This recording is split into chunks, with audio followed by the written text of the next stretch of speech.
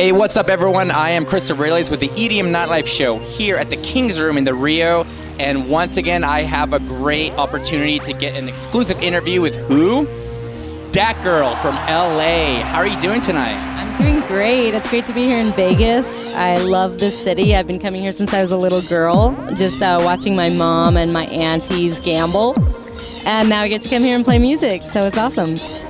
Uh, that's cool. You're here. You're chilling. You got yourself, you know, good to go. You're thinking about what you want to play, and you are going to play really soon. I'm so excited. I cannot wait to hear what you have going on. Please tell me just a little bit. Um, I'm a live hardware producer, so I play all synthesizers and drum machines. I don't use a laptop. I don't use other people's tracks. So Nice. Yeah, so it's all live production. Um, I have a drum machine, a synthesizer, a sampler, a Kaoss pad, and a mixer. So that's five machines that I actually tote around with me everywhere I go, which is pretty crazy. All my gear is really tactile. I mean, the Kaoss pad, it's a Korg Kaoss pad. You put your finger on it, it goes zoom, zoom, zoom. You know, I have um, the EMX is pretty much a standard drum machine that a lot of people have, and it's very, very user friendly. So you can actually make bass lines on the spot. You have a little ribbon controller, and then I have a synthesizer, the Korg Radias, and um, that's where all my like sick bass sounds come from. And so I can do a lot of knob twisting and manipulating and really tuning to the sound system.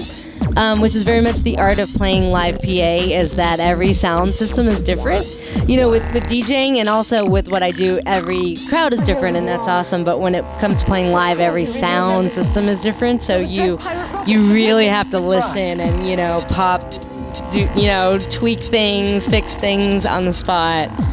Oh, cool. Where did you get some of your inspiration from? I mean, you've been using this a lot of this equipment for quite a while, I see.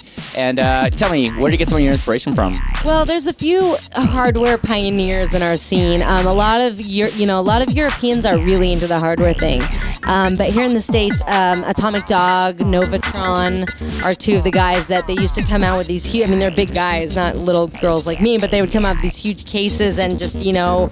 10 machines and just play them and um, you know just kind of set it up on a table just like that and you're watching these big dudes manipulate these machines and now i think um, because you know computers have made it easier to play on a computer that i think people have gotten you know, I I mean, in some ways, lazy about it. It's not that they're doing a lot of production work, not to say, but you know, the hardware is a.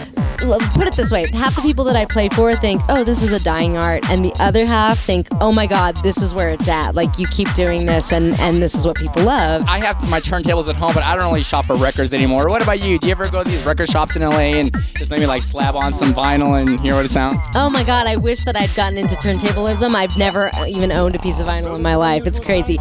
But I really relate to like the vinyl artists because it's the same thing. It's the people dragging around the heavy shit. We're like, we look each other in the eye. We're like, you, you you're, you're still doing that. You're still dragging the records around and scratching and everything like that, you know? So I, I appreciate that a lot, especially with the scratching and just sort of, um, I love like, you know, hip hop vinyl, the way that it has samples in between, like the, the art of sampling, I think, is my first piece of gear was a sampler. So I played, you know, I filled it up with noises, movie samples, and my voice, and that was the instrument that I had to work with. I cannot wait to see what you have coming up. You know, I'm very excited. Where can we check you out on? Do you have any cool websites? I do. Slutstep.com is my website, or you can check me out on Dat Girl TV on YouTube. I just dropped a really cool music video called Baby Got Bass. That Got bass. yeah, it's on YouTube, Dat Girl TV, or Slutstep.com. And uh, yeah, I just want to give a shout out to the director of my music video, Domo Ari Photo. She she kills it. She filmed this thing. We did six days of shooting in Hawaii. This was about a month ago, and just dropped this video about two weeks ago. So we're Where in Hawaii were you? Honolulu. Nice. Uh, we did a boat, a jungle, three different clubs, a fire show. So yeah, the kids in Honolulu know how to party. Shout out to them. I was born in Kealakekua, in Hawaii, but I don't know. I'm pretty white, but it's all good. You know, yes, mad respect to all the Hawaiians out there. And play that electronic music out there in the island still. Please, keep it going. Oh man, Dat Girl here at the Rio King's Room. I cannot wait to see what you have going on. And we're going to check you out on your websites. Chris Aurelius with the EDM Nightlife Show and Dat Girl. Keep it locked.